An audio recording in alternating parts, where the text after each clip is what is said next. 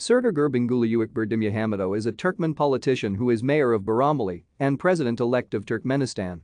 He has served as deputy chairman in the cabinet of ministers of Turkmenistan since 2021.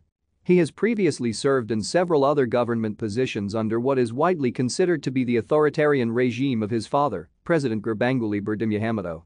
He successfully ran to succeed his father in the 2022 Turkmenistan presidential election and is scheduled to assume office on 19 March.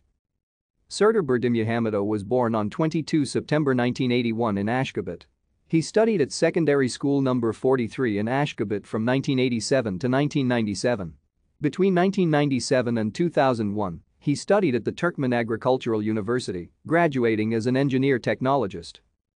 From July to November 2001, he worked in the Directorate for Foreign Economic Relations of the Food Processing Association, followed by two years of mandatory military service. From 2003 to 2008, he worked again at the Food Processing Association in the Fruit and Vegetable Department and in the Non-Alcoholic Beer and Wine Department.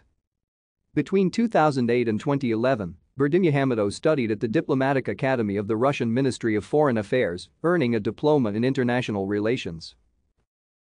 Thank you for watching. Like and subscribe if you would like to view more of our videos. Have a nice day.